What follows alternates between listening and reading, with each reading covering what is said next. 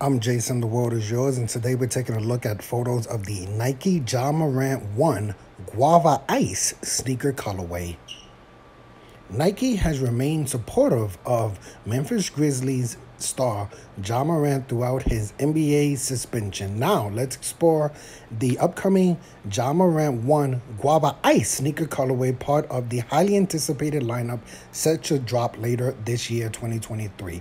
The sneaker boosts a color scheme featuring Guava Ice, medium soft pink, white, black, and light ultramarine. Is that how you pronounce that? I've never, I don't even know what that is. And hyper pink. There's a lot of colors going on. Constructed with a blend of mesh and leather, the Nike Ja 1 showcases a guava ice upper accompanied by soft pink TPU swooshes. Ja branding is predominantly displayed on the tongues and um, insoles, notably the ultramarine heel showcases Ja Morant Number 12, embroidered on the back tab is mismatched colors. The design is completed by a white midsole uh, complemented by black and pink rubber outsole um, featuring Ja's logo on the ultramarine under underneath. Check out the photos below um, and look for the Nike Ja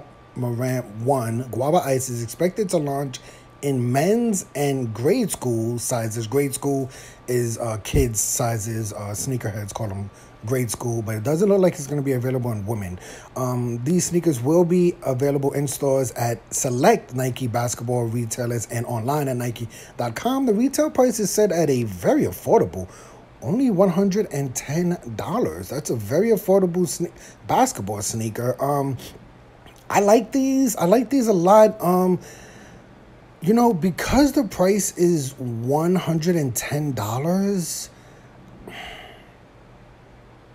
I don't know if I would I don't I just don't know if I would buy them. I don't the color it's a cool colorway. It just it doesn't really work for me. I've seen other colorways in this sneaker that I think I would like better than this colorway and with the price only being $110, it's extremely affordable.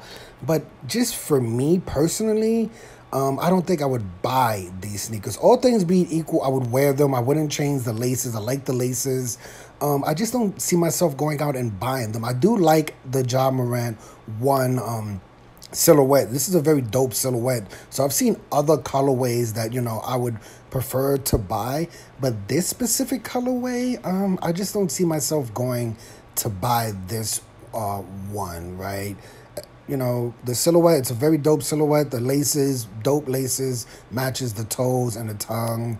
Um, a lot of colors here, but you know, no problems. I like, I definitely like the um, mismatch bottom. I like black bottoms instead of, you know, white bottoms that get dirty very quickly, or even pink bottoms that would get dirty, dirty very quickly. But, you know, like I said, all things being equal, I would wear these. I wouldn't have a problem wearing these. I just don't see myself putting down $110 for this specific colorway because there's other colorways that I would prefer to buy for this sneaker. But let me know your opinion of these sneakers. Uh, I'm Jason, the world is yours. Today we're taking a look at photos of the Nike Ja 1 Guava Ice sneaker colorway no specific release date. I would imagine it's going to release, you know, around the NBA season or, you know, before or after the NBA season, if that makes any sense. Of course, there's always a before and after.